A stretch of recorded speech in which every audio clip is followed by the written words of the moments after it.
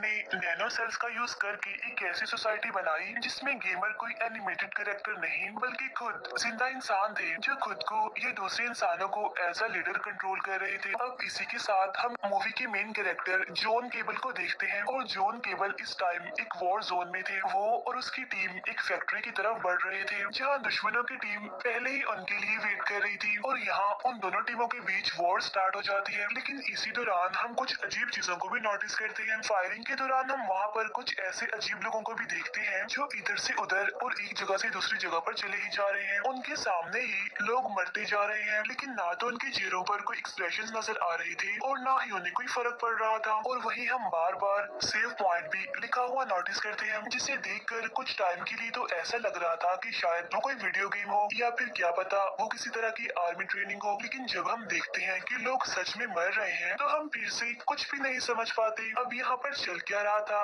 ये हम आगे जानेंगे। नीचे फाइट करने के बाद जोन ऊपर वाले पार्ट में जाता है, जहाँ अचानक नीचे दिखने पर उसकी नज़र पीछे आने वाले दुश्मन पर पड़ जाती है। तब उसे देखकर जोन बोलता है की पीछे मुड़ो। और इसी के साथ हम जान पाते हैं की असल में जोन को कोई कंट्रोल कर रहा है, लेकिन इससे पहले की वो दुश्मन जोन को देख पाता जोन का जो कंट्रोलर होता है, यानी जो जोन को कंट्रोल कर रहा था, वो उस दुश्मन को मार देता है। इसके बाद जोन सबको मारते हुए बचते बचाते फाइनली सेफ़ पॉइंट तक पहुँच जाता है। नेक्स्ट सीन में हम देखते हैं कि एक न्यूज़ रिपोर्टर कैन नामी आदमी का इंटरव्यू ले रही है और यही से आपको सारी बातें क्लियर हो जाएँगी। असल में कैन एक प्रोग्रामर होता है और उसने एक ऐसा नैनो सेल बनाया होता है जिसे कान के पीछे वाले ब्रेन के हिस्से में इम्प्लांट किया जा सकता है। अब ये जो नैनो सेल्स यानी नैनोटेक होती है, वो अपने आसपास के सभी सेल्स की एग्जैक्ट कॉपी बनाकर उन्हें रिप्लेस कर देता है। तब नैनो सेल्स में रिमोट फंक्शनलिटी के ज़रिए जो कंट्रोलर या फिर गेमर उस पर्सन को कंट्रोल कर रहा होता है तो सब कुछ उसकी आँखों के ज़रिए देख भी सकता है। कैन ने सबसे पहले इन नैनो सेल्स का यूज़ करके एक सोसाइटी बनाई और इस सोसाइटी में एक ऐसी सोशल लाइफ सिमुलेशन गेम होती है, जिसमें गेमर कोई एनिमेटेड करेक्टर नहीं, बल्कि ज़िंदा इंसान थे, जो खुद को या दूसरे इंसानों को एज अ लीडर कंट्रोल कर रहे थे। लॉन्च होते ही सोसाइटी पूरी दुनिया में फ़ेमस हो गई, जिससे रातों रात कैन दुनिया का सबसे अमीर इंसान बन गया। फिर इसके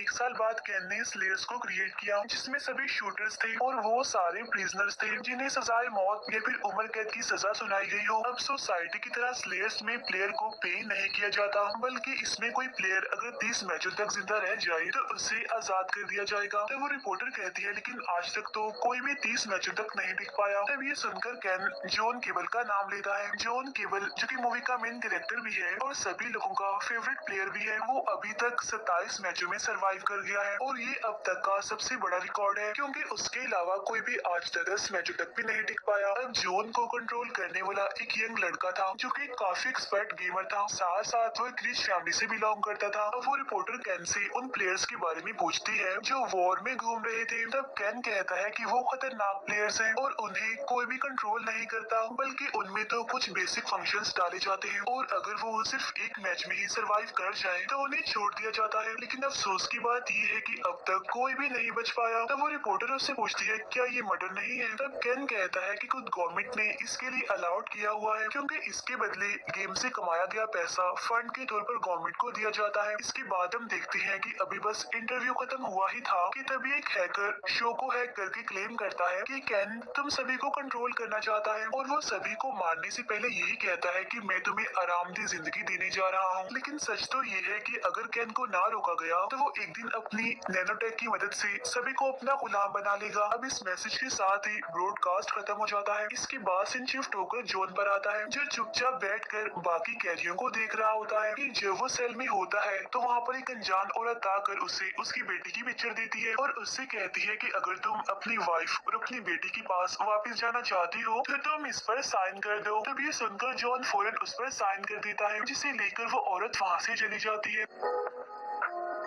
नेक्स्ट सीन में हम जोन की वाइफ को देखते हैं, जो कि सोसाइटी में काम करती है, लेकिन जब उसका प्लेयर एक दूसरी लड़की के साथ होता है तो तभी वो हैकर सोसाइटी को भी हैक कर लेता है। इसके बाद हम देखते हैं कि जोन अपने अट्ठाईसवें मैच में होता है, जहाँ इस बार तो मिलिट्री चॉपर से भी अटैक किया जा रहा था, लेकिन फाइनली इस बार भी वो सेफ़ पॉइंट तक पहुँचने में कामयाब हो जाता है। लेकिन तभी हम देखते हैं की जब उन लोगों को वापिस ले जाया जा रहा था तो तभी एक कैदी आउट ऑफ़ कंट्रोल हो जाता है, और वो बार बार एक ही बात कह रहा था की हम सब मरने वाले हैं। और आखिर हमें खेल कौन रहा है? उसके इतना कहने के साथ ही हम जोन के गेमर को देखते हैं। यानी उस यंग लड़की को, जो की ब्रेकफास्ट करने के बाद अपने गेमिंग रूम में चला जाता है। उसी टाइम स्क्रीन पर एक वीडियो प्ले होती है, जहाँ पर जॉन इन्वेस्टिगेशन रूम में किसी को गोली मार देता है। अब इस वीडियो के साथ ही एक मोड का लिंक भी आता है, जिसमें था कि अगर तुम जोन से बात करना चाहते हो तो हम तुम्हारी हेल्प कर सकते हैं। असल में गेम को खेलते टाइम गेमर सिर्फ़ प्लेयर को कंट्रोल कर सकता है, लेकिन उसके साथ कोई भी बातचीत नहीं कर पाता। इसके बाद हमें कैन दिखाया जाता है। और जब वो ये दिखता है कि जोन ने अट्ठाईसवा मैच भी जीत लिया है तो वो जोन को मरवाने के लिए एक खतरनाक आदमी को स्लेयर्स में ऐड कर देता है। तब कैन का साथी उससे कहता है कि जोन को तो आज तक कोई भी नहीं मार पाया तो फिर ये कैसे मारेगा? तब कैन कहता है कि हाँ मैं जानता हूँ कि जोन एक परफेक्ट सोल्जर है और बहादुर भी है, लेकिन उसकी सबसे बड़ी कमज़ोरी उसकी पिन है, यानी उसके और गेमर के बीच होने वाले कमांड का डिले और इंटरेस्टिंग बात तो ये है कि उस खतरनाक आदमी को इन्हें जिसे मैंने स्लेयर्स में भेजा है, उसे कोई भी नहीं कंट्रोल करेगा। यानी वो बिल्कुल आज़ाद होगा। और यही वजह है कि कमांड मिलने तक का उसे वेट नहीं करना पड़ेगा। लेकिन जोन तो कमांड का इंतज़ार कर रहा होगा। और इसीलिए वो इजीली जोन को मार भी देगा। इसके बाद हम जोन को देखते हैं, जहाँ पर वो खतरनाक आदमी आकर उसे धमकी देता है कि शाम होने वाले मैच में मैं तुम्हें जान से मार डालूँगा। वो उसे ये भी बता देता है कि मुझे कोई भी कंट्रोल नहीं कर रहा। साथ साथ वो जोन को उसकी फैमिली के बारे में भी धमकी देता है कि यहाँ से बाहर जाने के बाद मैं उन्हें भी मार दूँगा। तब ये सुनकर जोन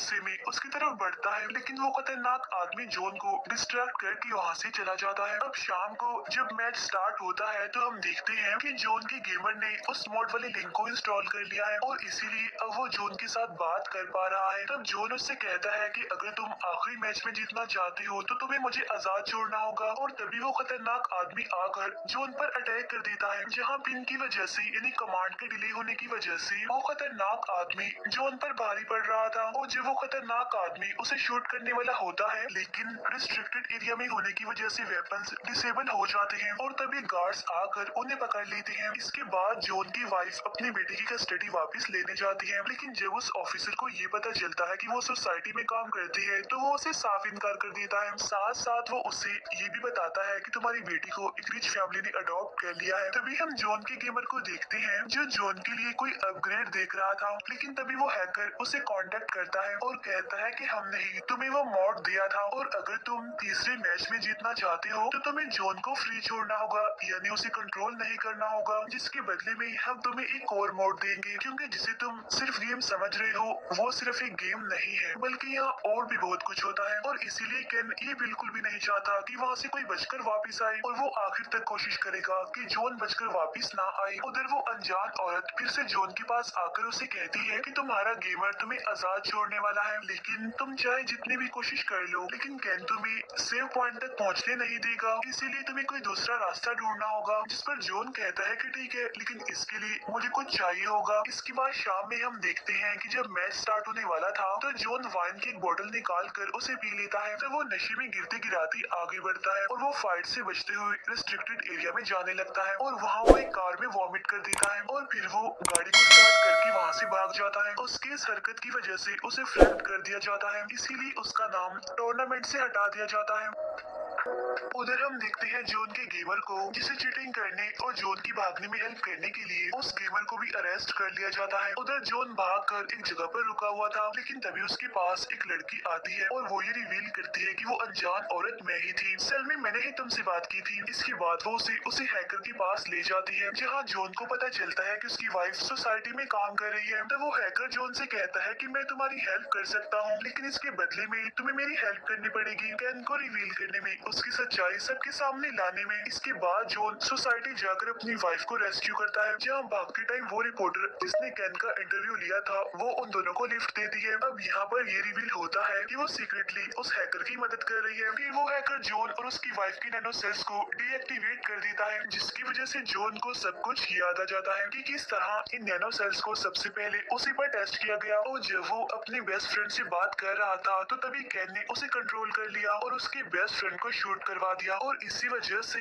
जोन को जेल हो गई और उसे उम्र कैद की सजा हो गई। अब जोन के ब्रेन में नैनोटेक की वजह से उस हैकर को ये सब कुछ पता चल जाता है और यहीं पर जोन को ये बात भी पता चल जाती है कि उसकी बेटी को किसी और ने नहीं, बल्कि कैन ने ही अडॉप्ट किया है। उधर जोन के गेमर को भी छोड़ दिया जाता है और जब वो घर जाकर देखता है तो वहाँ पर सब लोग उसे चीटर कह रहे थे और बुरा भला कह रहे थे और साथ साथ उसके स्लेयर अकाउंट को भी लॉक कर दिया गया। उधर जोन कैन के घर चला जाता है, जहाँ पर कैन तो पहले से ही उसके लिए वेट कर रहा था अब जोन की आते ही वो कुछ कैदियों के साथ डांस करने लगता है। और तभी स्क्रीन पर जोन देखता है कि कैन के साथ उस हैकर का पता लगवा कर सभी को मार देते हैं। इसके बाद वो कैदी जोन के साथ लड़ने लगते हैं, लेकिन उनमें से कोई भी जोन के सामने ज़्यादा देर तक टिक नहीं पाता और जोन उन सबको मार गिराता है। इसके बाद जब वो कैन को भी मारने लगता है, तब कैन उसे कहता है की अगर तुमने कोई बेवकूफ़ी की या फिर तुमने मुझे मारा तो तुम्हारी बेटी ज़िंदा नहीं बचेगी। तब ये सुनकर जोन रुक जाता है और उसे नहीं मारता। यहाँ पर कैन ये भी रिवील करता है कि मैंने भी अपने ब्रेन के 98 परसेंट हिस्से को नैनो सेल से रिप्लेस कर लिया है। दूसरों के नैनो सेल्स कमांड लेते हैं, लेकिन मेरे नैनो सेल्स कमांड देते हैं। यहाँ पर कैन अपना मास्टर प्लान भी रिवील करता है की बस वो कुछ दिनों बाद हवा के ज़रिए फैलने वाली नैनो सेल्स को भी रिलीज़ करेगा, जो सिर्फ़ छह महीनों के अंदर ही पूरे यूएस को इन्फेक्टेड कर देगा, जिसकी वजह से होगा ये कि लोग मेरे गुलाम बन जाएँगे और वही करेंगे जो मैं उनसे करवाऊँगा, जो मैं चाहूँगा। और इतना कहते ही वो उस खतरनाक आदमी के ज़रिए जोन पर अटैक करता है जिसे जोन इजीली मार गिराता है। लेकिन जब वो कैन पर अटैक करता है तो वो फ्रीज हो जाता है। तब कैन उसे बताता है कि मैंने तुम्हारी नैनो सेल्स को रिवर्स कर दिया है। यानी अब तुम्हारी नैनो सेल्स फिर से एक्टिवेट हो गए हैं। और ये कहने के बाद वो जोन को मारने लगता है। उधर वो रिपोर्टर जो उस हैकर पर अटैक होने से पहले ही वहाँ से भाग गई थी, उसने नैनोटेक में एक कोड डाल दिया, जिससे जोन के गेमर का अकाउंट फिर से अनब्लॉक हो गया। और इसी वजह से उनका लाइव टेलीकास्ट पूरी दुनिया में चलने लगा। उधर कैन के साथ ही जोन की वाइफ और उसकी बेटी को भी वहाँ पर ले आते हैं और कैन जोन को कंट्रोल करके उसी की बेटी को मारने के लिए कहता है। तब जोन अपनी पूरी ताकत लगाकर खुद को कंट्रोल करने की कोशिश करता है, लेकिन तभी उसके गेमर के कमांड की वजह से वो कैन पर अटैक कर देता है। लेकिन अब क्योंकि कैन की नैनो सेल्स पावरफुल थे, इसीलिए वो जोन की प्रोग्रामर पर ओवर पावर कर लेता है और आहिस्ता आहिस्ता करके नाइफ को जोन की तरफ़ घुमाने लगता है। तब ये देखकर जोन यहाँ पर एक ट्रिक करता है और वो कैन को कहता है की इस नाइफ को गौर से देखो और इमेजिन करो कि इसे मैं तुम्हारे अंदर घुसा रहा हूँ। तब यहाँ पर कैन ऐसा ही करता है और उसके सोचते ही जोन उस नाइफ को उसके पेट में घुसा देता है अब कैन के मरते ही पूरी दुनिया खुश होने लगती है और इसके बाद जोन कैन के साथियों को कहता है कि सभी की नैनो सेल्स को डीएक्टिवेट कर दो तो वो लोग उसकी बात मानकर ऐसा ही करते हैं। इसके बाद हम देखते हैं कि जोन अपने फैमिली के साथ ट्रिप पर जाता है और उनके जाते ही मूवी यहीं पर एंड हो जाती है। Thank you for watching